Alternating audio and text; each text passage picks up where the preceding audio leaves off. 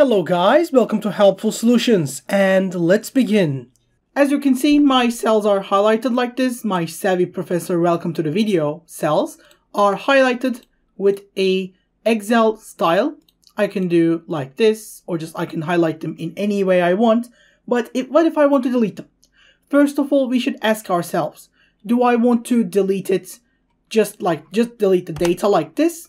Or do I want to delete everything that is associated with the cell, like everything that it contains. Because if I want to do that, it's an entirely different thing. So I will show you both ways super easily. If you want to delete only the inside, like doing this, but do it in an easier way, just select your cells like this, and after selecting your cells like this, just press delete on your keyboard. Pressing delete on your keyboard deletes only the contents and not the formatting of the cells, so they will still be highlighted, but there will nothing inside of them anymore. If you want to delete anything and everything about them, after selecting your cells like this, from the home ribbon, go to the top right part and find clear next to sort and filter and find and select.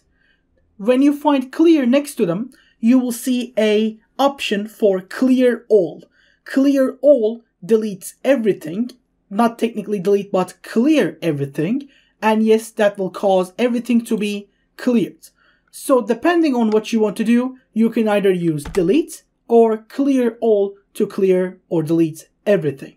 And that was basically it. And of course, I hope you guys enjoyed the video. If you did, don't forget to give us a like and maybe subscribe to our channel, Savvy Professor. In any other case, I hope to see you in the next video as well. Have a great day and goodbye.